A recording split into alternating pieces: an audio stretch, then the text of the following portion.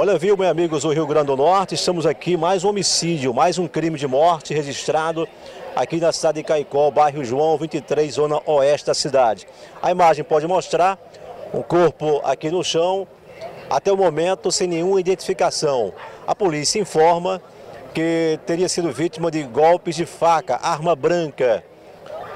Caiu, tombou aqui sem vida no local, a polícia militar faz o isolamento da área e as pessoas uh, não sabe até o momento a identificação de mais um homicídio, de mais um registro uh, de morte aqui na cidade de Caicó.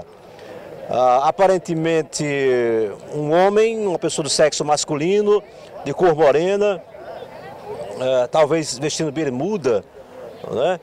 e não se tem até o momento a identificação é, dessa pessoa que foi assassinado aqui em Caicó. É mais um homicídio, é mais um crime de morte registrado em nossa cidade. Apesar de Caicó estar vivendo a festa de Santana, não tem nenhuma relação com a festa de Santana. Foi um caso isolado, será investigado e aguardada a chegada da Polícia Civil aqui no local.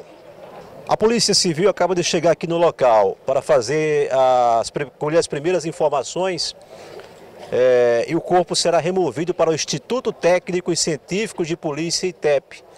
A primeira informação que se tem é que o primeiro a, nome seria Magão ou Pé Redondo.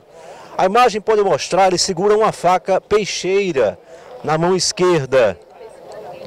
Ele segura uma faca peixeira na mão esquerda e existe uma perfuração à faca na região do tórax.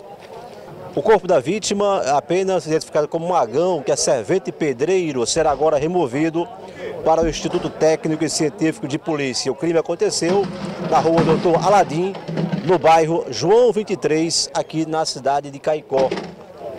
O caso agora será investigado pela Polícia Civil, que faz os primeiros levantamentos de praxe.